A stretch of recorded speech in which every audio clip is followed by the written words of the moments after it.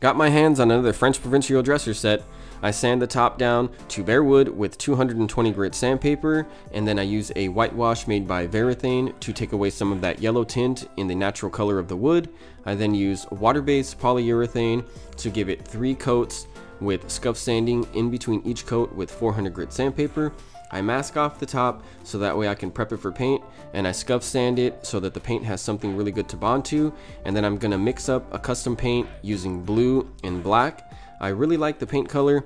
I'm gonna do three coats of that, possibly four, with scuff sanding in between each coat with 400 grit sandpaper. I'm using Howard's Feed and Wax to freshen up the wood on the sides of the drawers. I then reinstall all the drawer pulls and then it's time to reinstall all of the dresser drawers back into the dresser and this is the final look. I am absolutely in love with that blue. I really hope that I can mimic that color again in the future and I did charge $800 to refinish this piece.